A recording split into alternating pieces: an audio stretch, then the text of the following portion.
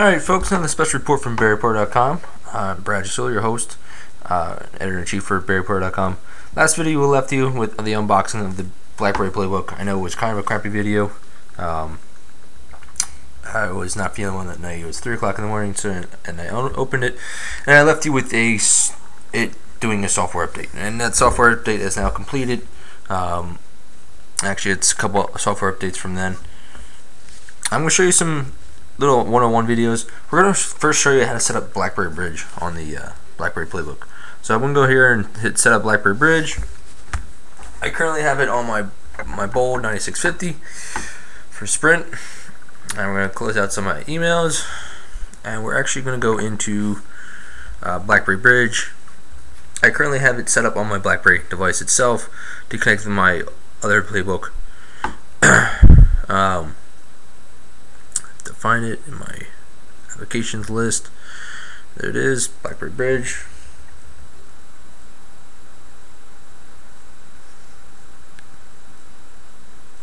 And we're going to go in there. Uh, we're going to turn Bluetooth on. You need Bluetooth connection for BlackBerry Bridge.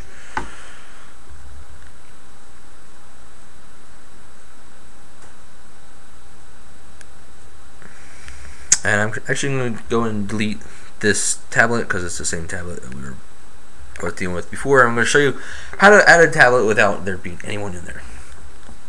So on the BlackBerry Playbook, uh, please enter your name for your tablet. Um, I like to create different names for for things that I'm connecting to. So we're actually going to go in and say Brad's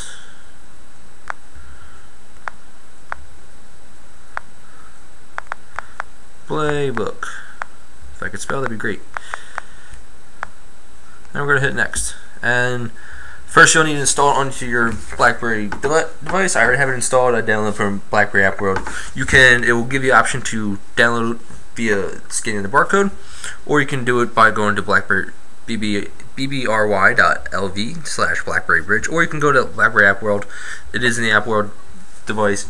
So, pairing up the BlackBerry, your BlackBerry device with your BlackBerry Playbook. So there's two ways to adding it. Uh, you can add by scanning this barcode with your BlackBerry.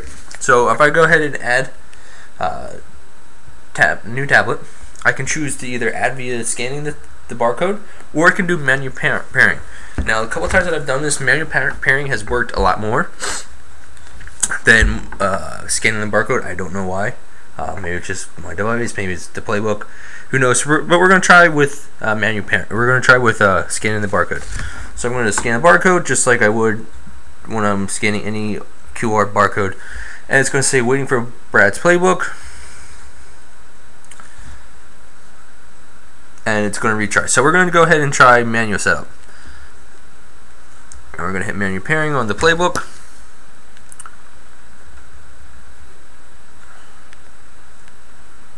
And it's going to search for the tablet and it says one found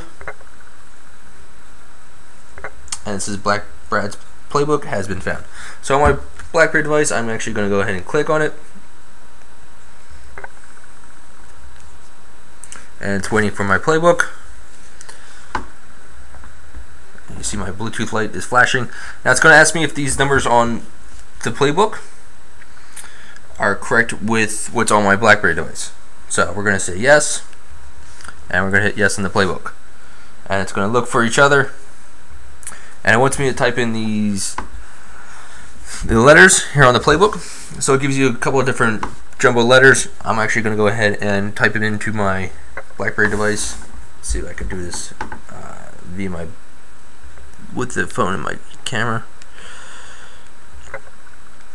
X Y H K, and we're going to hit OK. You see, I typed it in. and you can see a confirmation page on the BlackBerry Playbook. And it says swipe to continue. So that's how you add a BlackBerry device to your BlackBerry Playbook via BlackBerry Bridge. It's all set up now. Uh, next video where I'm going to actually show you uh, what you can do with BlackBerry Bridge. So stay tuned for that video. Thank you. Have a good one. Bye bye now.